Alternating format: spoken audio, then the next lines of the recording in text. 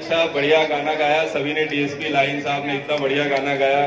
हमारे सीएसपी मल्हारगंज ने एकदम राग मल्हार लगाया तो इतने अच्छे अच्छे प्रोग्राम के बाद अब मेरी हिम्मत बची नहीं है।